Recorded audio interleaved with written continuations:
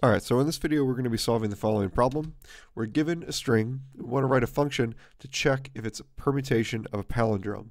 So just for some definitions here, a palindrome is a word or phrase that is the same forwards and backwards. So a word that's a palindrome, as an example, is one that you're probably familiar with, race car. So you can read this word the same from the front or the back, and it's the same word, so race car is read the same from either front to the back. And then the second definition is permutation. And a permutation is just a rearrangement of the letters. So we want to figure out whether or not, given a string, if it's a permutation palindrome. So in other words, if we had this string here, let's just take the first uh, couple letters of the word race car, excluding the first R, and let's tag that first R onto the end. So I've really just permuted the letters of the string race car up here. I've just permuted them in such a way that I've moved the first R over to the end. So this this thing here is a palindrome permutation. And why is that? Well, it's because we can permute the letters of this particular string in such a way that we can arrive at a, at a palindrome. So we can arrive at a string that is read both from the front and the back in the same manner. So that is uh, an example of what we're after. So we want to write a function that's going to allow us to determine whether or not a given string is a palindrome permutation. So the last sentence of this description here says that the palindrome does not need to be limited to just dictionary words. So this particular example is maybe a better of that particular case. Consider this word, which is not anything in particular.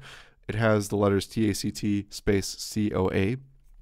And if you think about it, this can be rearranged, it can be permuted in such a way that it forms the string taco cat. And indeed, this particular string is a palindrome. So it's possible to read this particular string the same front to back. So taco cat is read the same here and the same here. So we were able to permute these letters to arrive at this, which is a palindrome. Therefore, this is a palindrome permutation. However, if we consider the string down here, there's no way for us to permute the strings here in such a way that you can arrive at a uh, palindrome. So this is not an example of a palindrome permutation. So again, what we want to do is we want to figure out a way that we can write a function that will allow us to determine if a given string is a palindrome permutation. So the first step, as we do in many of these string process, uh, processing problems, is we're going to pre-process the strings to eliminate things like case and spaces. So we can just focus on the letters that are present in the string. We're going to assume that the strings just consist of the alphabetic letters A through Z. So we want to lowercase everything to normalize it. We also want to get rid of any of the spaces. So that's going to be kind of the first pre-processing step for uh, before we move forward with the actual approach of the algorithm. So what is the approach here? Well, let's actually take the taco cat example and just write the letters out and see if we see any pattern. So we have a T, A, C, O, C, A, T. So if you look at this for a little while, you'll notice that there's duplicates of many of the letters. Namely, there's two T's, there's two A's, there's two C's, and then there's one O. So in other words, we have a T at the front, a T at the back, A at the front, A at the back, C at the front, and a C at the back, and then in this case, an O separating these two uh, TACs. So indeed, this is a palindrome, and in fact, if I was to remove this O, this would still be a palindrome.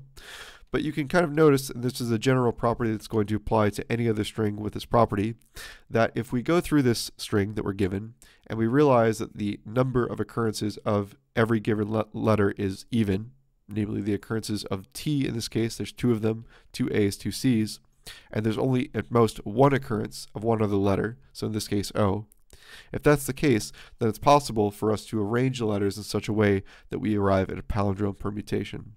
So these are going to be the properties that we're going to be after, and these are the properties that we're going to uh, try to check for a given input string. So how are we going to check those properties? Well, one way we can do that is we can do that by using a hash table. So we're going to loop through a string, and we're going to keep track of the occurrences of a given letter in the string. So for instance, let's assume that we start off here at the beginning of this loop for this particular string, taco cat. And what we want to do is we want to check if this letter is present in the dictionary.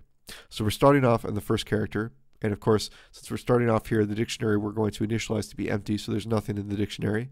And we ask if is T present in the dictionary as a key.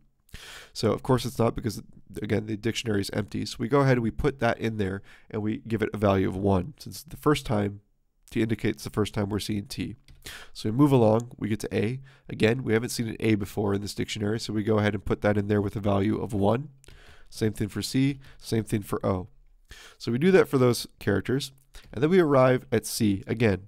So this is the second C, so what we do is we consult our dictionary, and we ask, is C present in the dictionary? And this time, C is actually present in the dictionary, so we'll go ahead and increment the count of the value for the key C. So now the value for the key C is 2, and all the other values for T, A, and O, those are all 1. So we move on to the loop, we consult A, so we arrive at A, and we consult the dictionary, we ask, what is, is A present in the dictionary? It is, because the second character that we encountered was A, so it has a value of 1.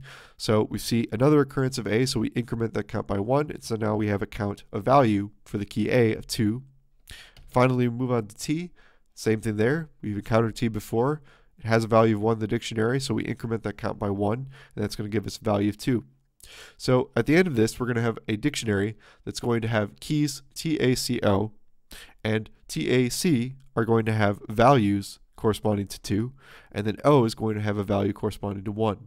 And what we can do is we can just check. We can go through the dictionary and keep track. Okay, are all of the entries in this dictionary, do they all have an even value? Except for at most one that can have a non-even value. And if that's the case, then it is indeed a palindrome permutation. Otherwise, if it's not, then we return false. So let's go ahead and code that up.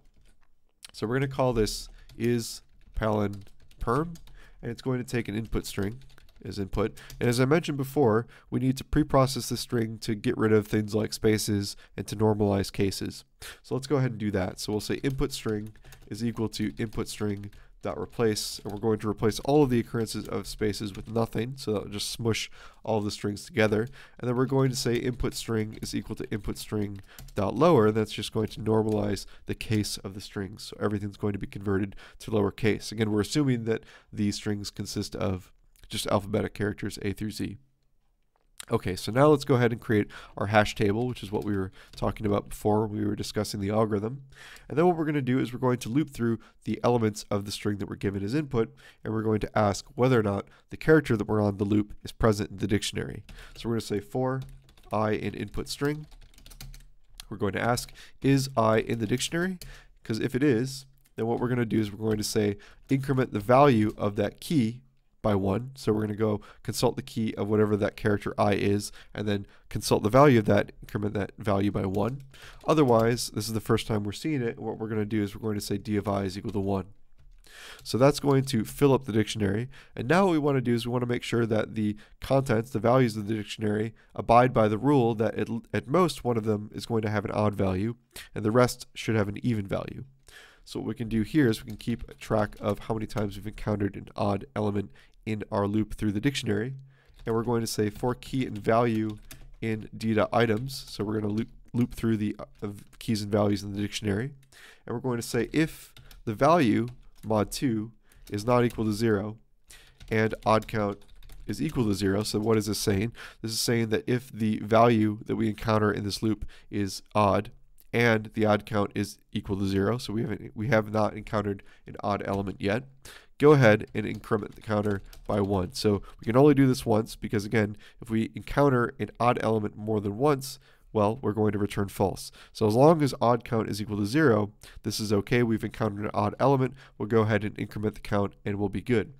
Otherwise, so else if v dot mod 2 uh, is not equal to zero, so if this is odd, or odd count is not equal to zero.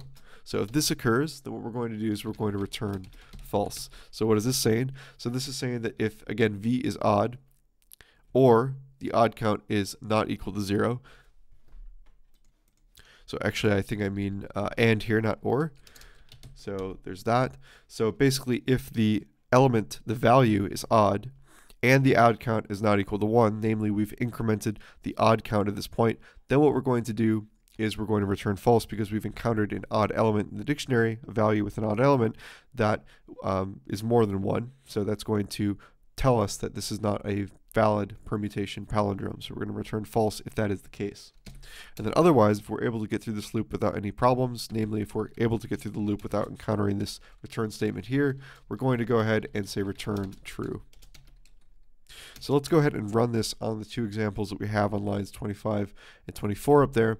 So we're going to say print is palindrome or is palinperm of the palinperm. So this is what we know to be a palindrome permutation. And then we're going to do the same thing on this other string, which we know that is not a valid permutation palindrome. So we're going to go ahead and do that on not here. So we're going to go ahead and write that. Going to clear the terminal. And then let's go ahead and run this. So we're going to go down here, say write, oops, write it, and then we're going to say Python uh, is palindrome permutation. And then what we're going to get here is we're going to get true and false. So that's what we expect for true for this one because we know we can rearrange the letters in such a way to arrive at a palindrome. And then false for this one because there's no way for us to rearrange the letters here to arrive at palindrome. So this appears to give us what we want, so that's pretty much what we're going to uh, go with in this video. So just a brief analysis. So the time complexity here is going to be uh, linear, so it's going to be big O of n, where n is the length of the string. That's because we're going through sequentially here in this loop, and we're just checking uh, whether or not this element is present in the dictionary. So we obviously have to process every character in the input string for this case. And then we also have a space complexity, which is going to be O of n as well. So our space complexity is going to be linear as well, that's going to come from us filling up this dictionary. So that's pretty much it for this video. If you have any questions or comments or concerns or anything of the sort, don't hesitate to leave them in the comment section below. As always, the code will be hosted on my GitHub, and I'll leave a link to that in the description of this video. If you found this helpful, please do consider liking and subscribing to the channel. Um, and if there's any other questions, please don't hesitate to let me know. So thanks again for watching, and I'll see you in the next video. Bye.